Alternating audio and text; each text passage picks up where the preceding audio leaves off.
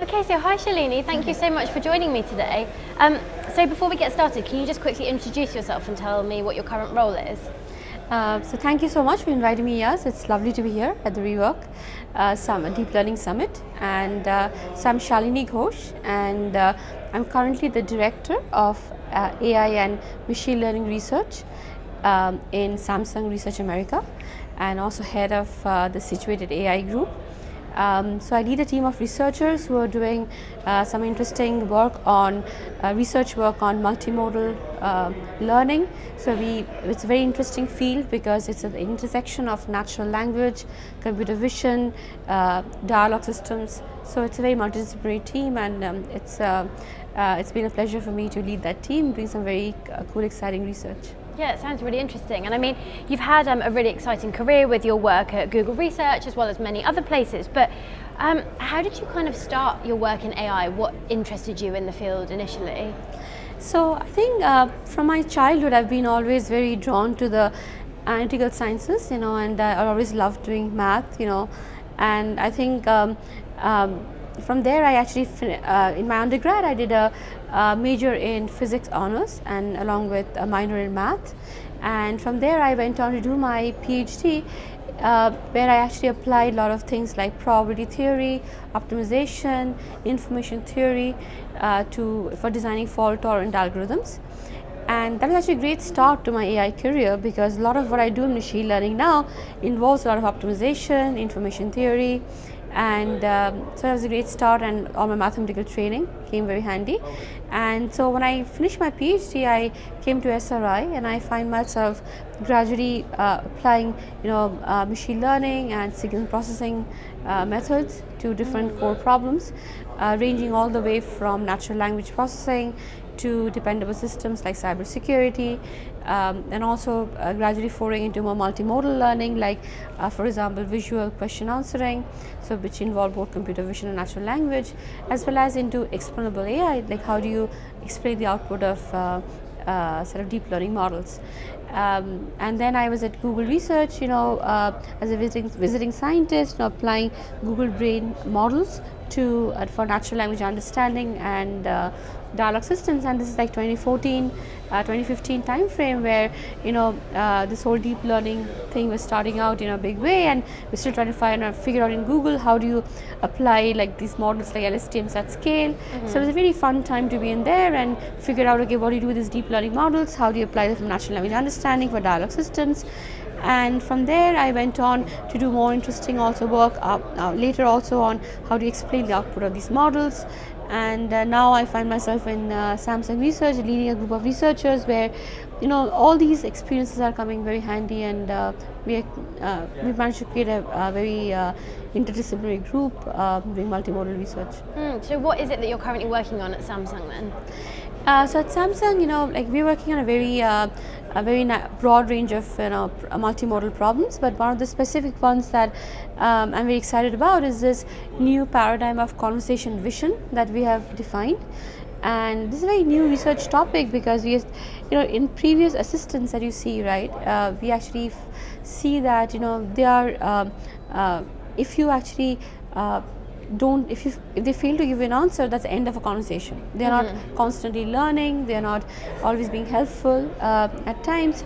And uh, so that is what you know we started thinking about that if we uh, wanted uh, let's say an assistant to constantly learn right uh, then what would be some of the interesting problems in that space?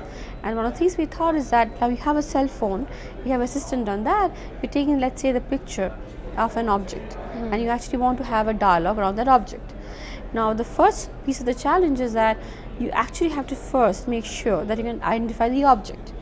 But one of the problems that our current object detection systems have is that you know they are very supervised you know machine learning algorithms and mm. that means that you know if they are trained to recognize let's say thousand categories they will recognize you know thousand categories right yeah. with some probability but if they are if you, if your object is not part of the thousand categories then they would fail to recognize. Now, if, if your uh, if your uh, cell phone doesn't recognize, you know, uh, the uh, the object at hand, then that's the end of a conversation with you for the system, right? So we thought, okay, can we do something better? Because as humans, you know, we would learn from our mistakes, right? Mm, we would yeah, say, okay, absolutely. or if we don't know something, then you know we can ask for help and we can learn. So we thought, okay, can we actually have an, let's say, an object detection algorithm which you know uh, you can teach to new categories and Yeah. it can actually uh, keep learning and not just learning but actually generalize from that in the machine learning sense that if you teach it one instance let's say of your watch right? It can maybe like you know sort of recognize you know other uh, instances of, of, of, of watches which are not necessarily the same watch but similar watches uh, maybe on your friend's uh, watch and you know or maybe you want to buy similar watches you know uh, so you can actually uh, you know have a conversation around that category not just that instance. Yeah. so that is what we call incremental object detection and that's a very new paradigm in a sense because you know lifelong learning has been explored in other contexts like robotics. But in object detection you know we found that uh, for current one pass detection systems there is not enough incremental learning happening. And you need one pass detectors to be deployed on mobile because uh, like you want it to be efficient algorithm. So we came up with a very novel sort of uh, uh, algorithm for how to do this kind of incremental learning on the fly for object detection and at the same time avo- avoiding this problem of catastrophic forgetting. So what means by catastrophic forgetting is that uh, in, the, in the literature it has been reported that when you learn a new category this way in an incremental fashion, often you forget uh, the information that you've learned from older categories. Right. Okay. So, you know, that is called catastrophic forgetting. So, you know, we want to design an algorithm such that even when we learn this new object category on the fly, we don't forget the information of the old categories.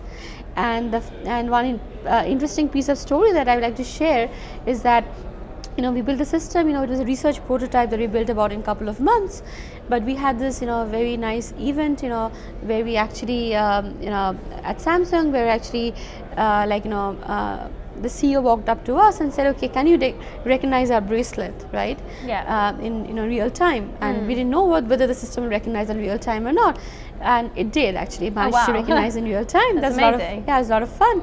And then you know he said, but then does it generalize? So can it recognize similar bracelets? So is there somebody else you know who's wearing similar bracelet, and there was hmm. somebody else who was wearing another man's bracelet, and it could recognize you know that as well. Oh, wow. And at the same time, we went back and showed that it still doesn't forget the old categories that it knows.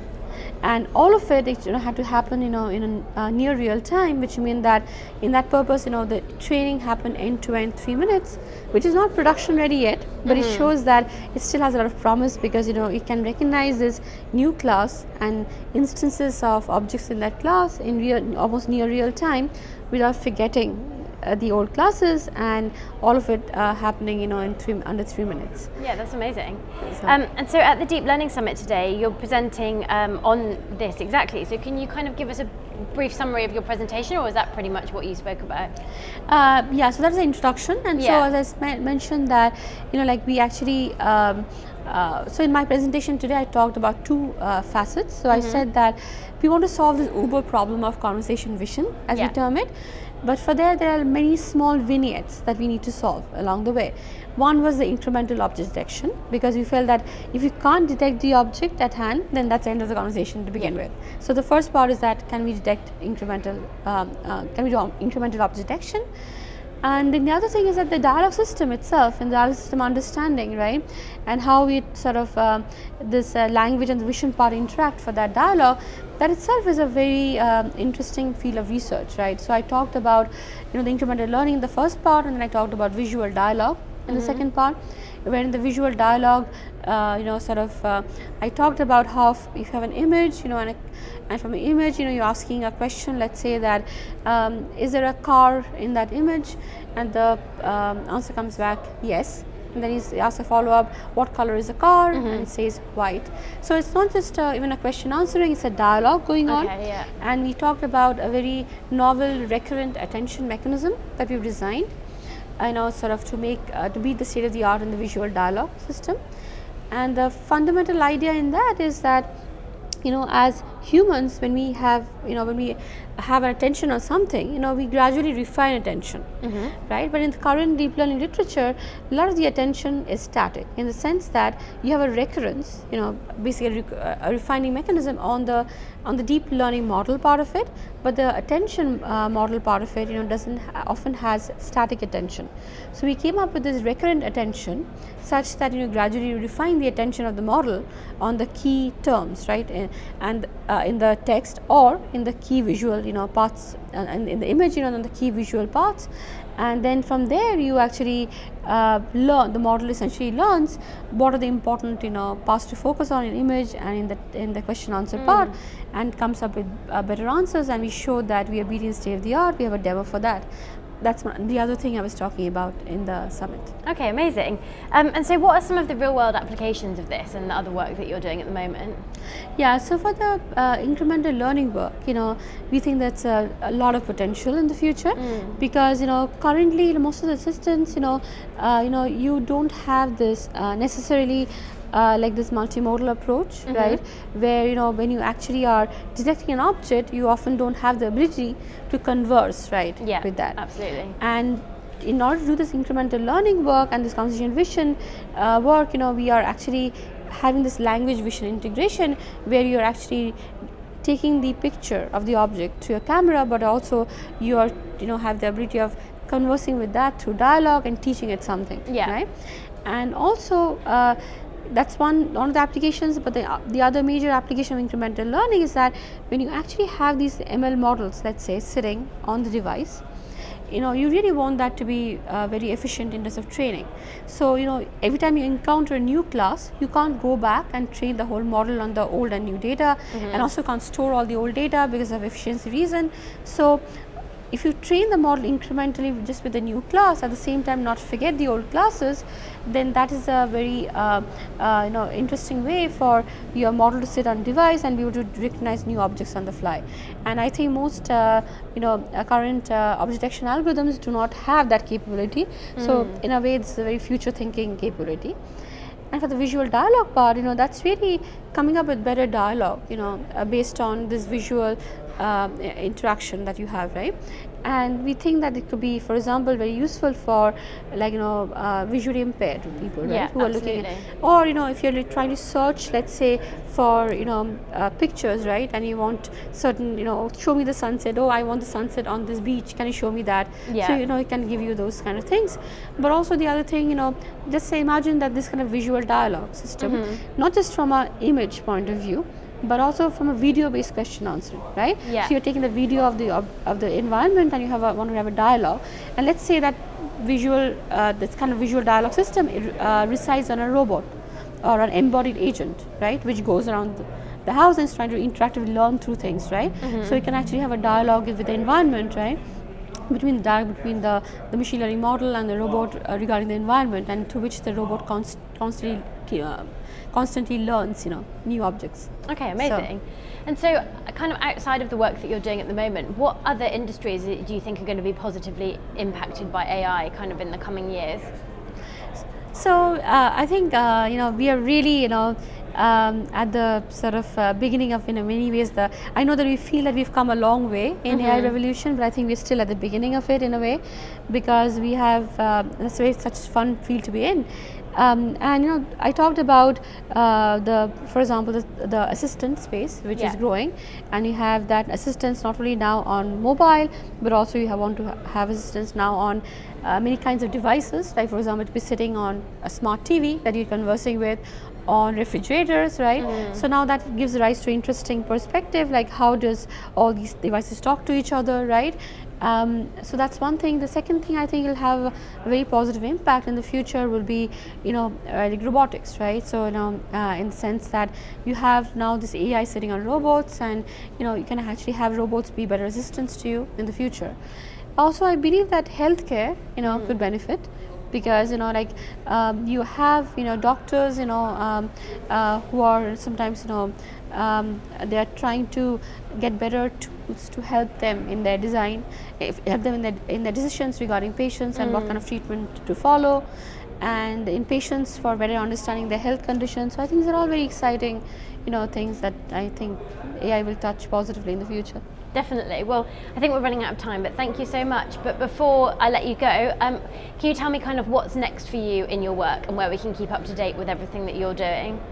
Yeah, so in my in my team, you know, I we, we are planning to you know sort of pursue this agenda of you know uh, uh, solving this problem of conversation vision, for which we have to solve many many interesting uh, vignettes in, in the mm -hmm. process. Uh, we want to apply this, you know, to many devices, including robotics. We want to do uh, like you know think about you know safety for AI devices and and how, how do you incorporate safety constraints into the devices and uh, into robotics? I mean into the AI model essentially that goes into these devices and uh, robotics. And uh, yeah so there is a lot a lot of active cool very cool exciting uh, work going on in my team. And if you want to read more you can go to shalinighosh.com you know and I'm also on LinkedIn so you know you Amazing. can find out Thank you so much. It's been Thank really you. interesting to talk to you today. Yeah. Thank you for joining me. Thank you so much for having me.